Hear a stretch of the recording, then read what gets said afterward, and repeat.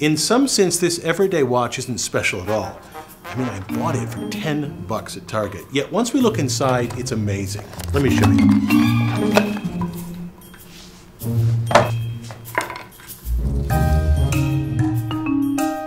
I'd call it the key machine of the modern industrial age. Precise timekeeping made possible things like the global positioning system and our telecommunications infrastructure.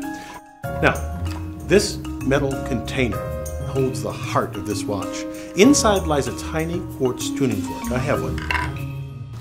Now, it's so tiny that I keep it in this white cap. You can see it right there in the center. Now, although this modern circuitry is vital to the watch, it's based on the same principles of the first clocks built in the 17th century resonant motion. It's easiest seen in the pendulum clock. This family heirloom, it hung in the living room when I was a kid, uses the motion of a pendulum to keep time. Now, this pendulum oscillates with a regular period that runs a clockwork that translates this motion into movement of the hands. There are many ways to create resonant motion. For example, a tuning fork. This one vibrates 440 times a second. That's an A note when struck. I love that sound. Now, if I slow down the motion of the fork, you can see how the tines move back and forth with a regular period. That's resonant motion, like the pendulum, which can be used to measure time. The quartz crystal I showed from inside this watch is a tiny tuning fork. It vibrates at about 30,000 times per second. But how do you get it to vibrate and how do you measure its vibrations or record its vibrations?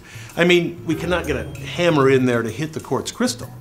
The engineer who designed this digital watch used something known as the piezoelectric effect to make the small tuning fork vibrate.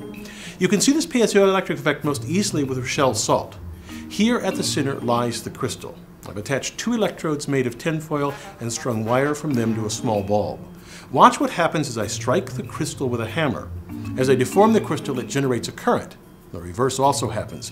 If you place a voltage across the crystal, it deforms. This is how the quartz tuning fork in the watch is pinged.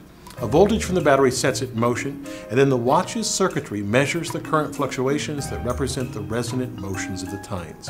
Quartz is ideal for digital watches because of its outstanding physical hardness and mechanical and chemical stability.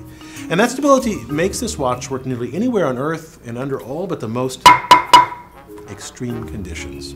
One more interesting thing about these digital watches is how these tiny tuning forks are made. On a production line, engineers must make these quartz tuning forks so accurate that they vibrate at 32,768 times a second, plus or minus 1 600th, about 2 parts per million in frequency.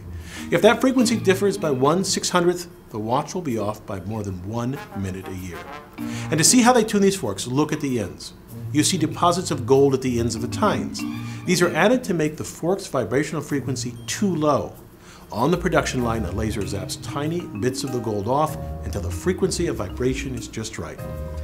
It's a wonder that these magnificent engineered objects are so inexpensive.